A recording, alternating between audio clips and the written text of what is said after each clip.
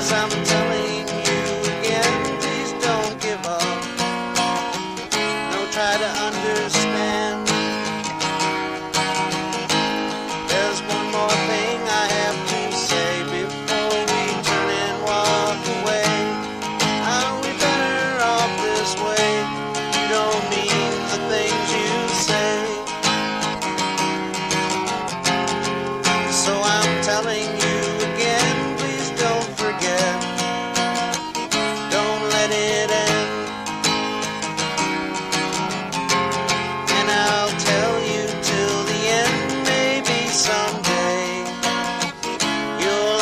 understand.